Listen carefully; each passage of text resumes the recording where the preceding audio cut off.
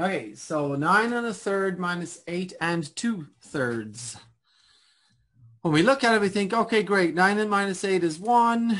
Uh, but the problem is that 1 third minus 2 thirds is actually negative a third. So that's a bit of a problem. That's not fun. Let's see if we can borrow, right? So what we're going to do is take that 9 and borrow some thirds from it. So we're going to turn that 9 into 8 plus 1.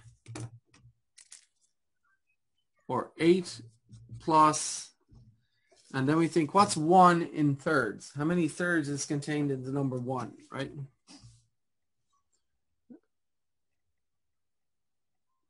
So, Three right, 3 thirds, right?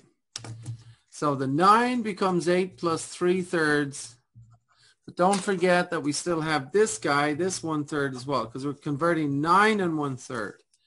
Is eight and three thirds to make up the nine, plus that one third also, right? So that's the trick, because nine and a third makes eight, and three thirds plus one third, eight and four thirds, right?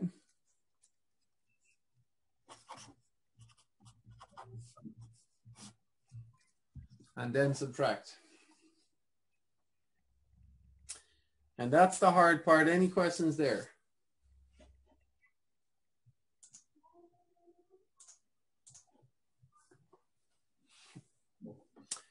Eight and four thirds minus eight and two thirds. Eight minus eight is zero.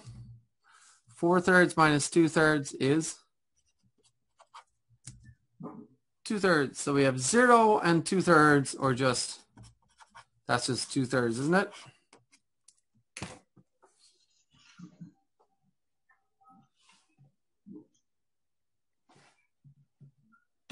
Okay, Pat?